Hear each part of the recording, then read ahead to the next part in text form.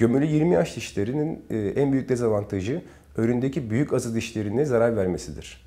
Eğer öndeki büyük azı dişine zarar verirse biz o dişi çekmek zorunda kalırsak e, fonksiyona giren bir dişi kaybetmiş oluyoruz. Bu bizim için bence en büyük dezavantajdır. Aynı zamanda gömülü dişlerin, e, bütün gömülü dişlerin %5 de olsa kist oluşturma ihtimali vardır.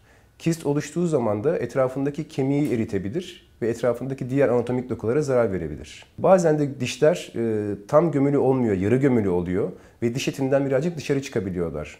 Bu durumda da e, etrafındaki yumuşak dokuya e, zarar verip iltihap meydana getirebiliyor. Biz buna perikoronit diyoruz. Esasında bu çok sık karşılaştığımız bir rahatsızlık.